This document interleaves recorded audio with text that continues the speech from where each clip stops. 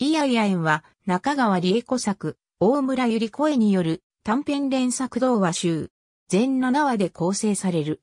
表題作は7話目。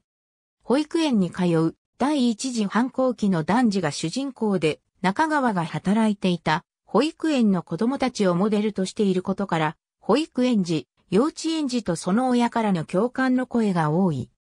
当時岩波少年文庫の編集者だった犬井富子が主催していた同人、板取の同人誌にて1959年7月に発表され、犬井と児童文学者、石井桃子の勧めで1962年12月25日に福音館書店創作童話シリーズから刊行。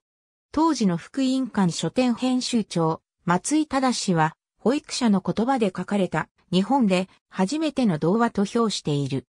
中川の処女作ということで、犬に当初の原稿は保育園の生活記録みたいだと指摘され、執筆に苦労したという。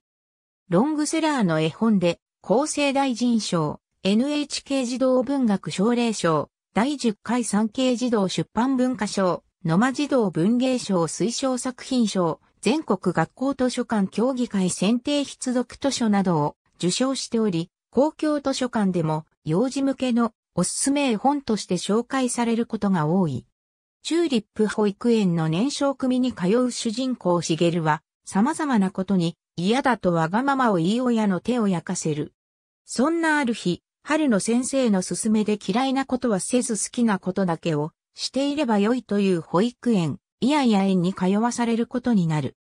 そこでは、シュゲルの赤は女の子の色だから嫌だというわがままが許されるが、クレヨンから赤を抜き取られ、大好きな消防車の絵を描けなくなったり、おやつの時間にリンゴがもらえなくなるなど困ったことになり、さらにその園でのいじめっ子、M ちゃんとも対立するのであった。